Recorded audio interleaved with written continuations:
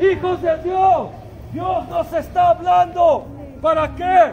Para que nos arrepientemos de nuestros pecados y sigamos al único Hijo, nuestro Salvador, Jesucristo. Jesucristo dijo, yo soy el camino, yo soy la verdad y yo soy la vida.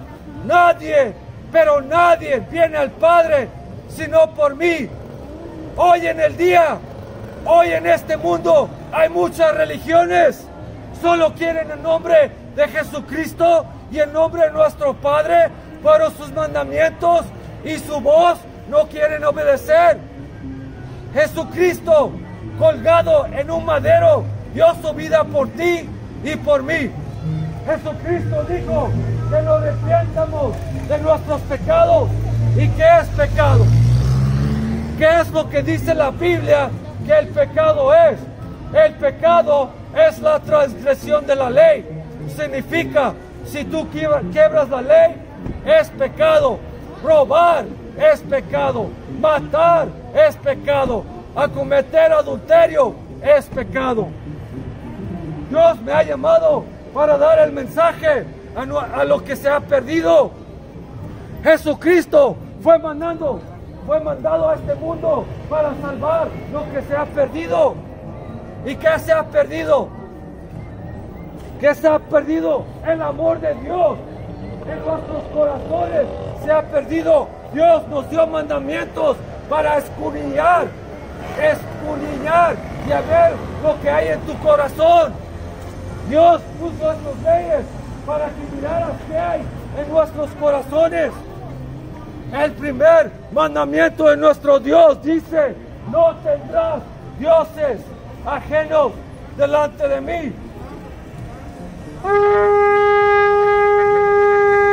El segundo mandamiento de Dios dice, no te harás imágenes, no tendrás ídolos, no te postrarás sobre ellas, porque yo soy un Dios celoso, castigo la maldad de los padres sobre los hijos a tercera y cuarta generación y enseño misericordia a millares, a los que me aman y guardan mis mandamientos.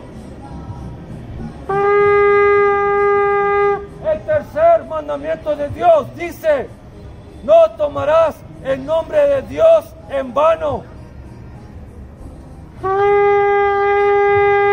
El cuarto mandamiento de Dios, que el pueblo se lo olvidó. El cuarto mandamiento dice, acuérdate del día sábado para santificarlo. Seis días trabajarás y harás todas tus obras, pero el séptimo día Dios lo bendijo, Dios lo guardó y Dios lo santificó. ¿Por qué? Porque en seis días Dios crió los cielos y la tierra. Dios guardó el séptimo día. El primer día de la semana es domingo. El séptimo día de la semana es sábado. Dios bendijo el sábado.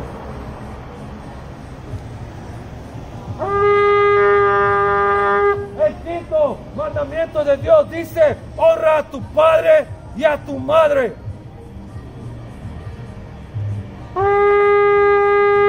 El sexto mandamiento de Dios dice, no matarás.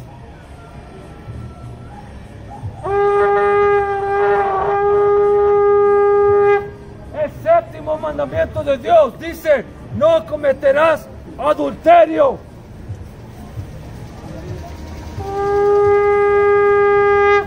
El siete mandamiento de Dios. El ocho mandamiento de Dios.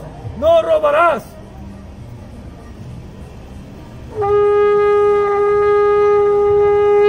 El nueve mandamiento de Dios. No darás falso testimonio contra tu prójimo. Lo que eso significa, no seas un mentiroso, no eches mentiras.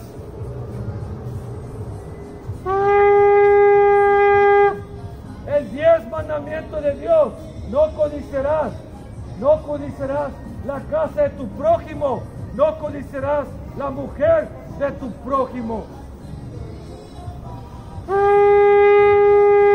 Esos son los diez mandamientos que Dios le dio a Moisés en el monte de Sinaí. ¿Para qué? Para que se los diera a su pueblo, para que su pueblo fuera un pueblo santo. Un pueblo santo a la imagen de Jesucristo. Porque Jesucristo vino a este mundo y no traía pecado. Jesucristo murió por nuestros pecados. Jesucristo colgado en un madero dio su vida por ti y por mí. Jesucristo no tuvo pecado.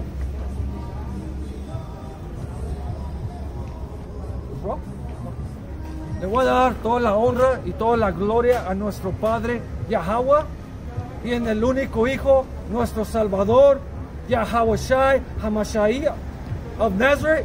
Y también le voy a dar todo honor al Espíritu Santo que se llama el Ruach HaKadosh. Shalom Israel.